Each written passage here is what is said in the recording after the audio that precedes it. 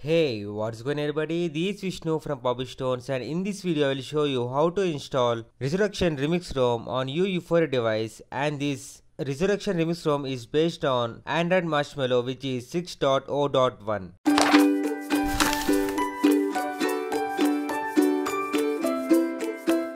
Make sure your device is rooted and has an custom recovery mode. Now go into settings and open about phone and click on build number for 7 times to enable the developer option. Now go back and open the developer option and on the advanced reboot and on the Android debugging. Now download the Resurrection Remix ROM and the GF file from the link in the description and save these two files in your internal storage of your mobile. Now go back and hold the power button and click on reboot and select recovery and press on OK. Once you came into recovery mode, just click on wipe, click on advanced and select Dalvik, system, data and cache and swipe from left to right to confirm wipe. After finishing wiping, just go back, click on install, select the ROM and swipe from left to right to confirm flash.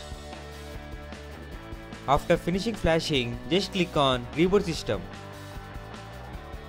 The first boot may take 5 to 10 minutes so sit back and relax until it reboots completely.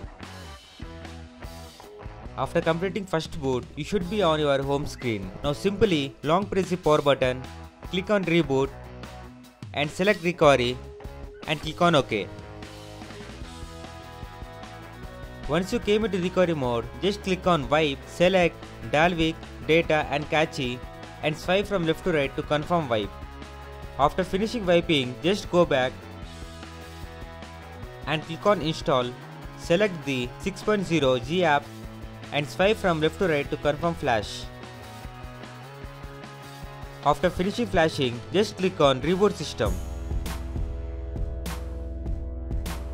The boot may take some time so sit back and relax until it reboots completely.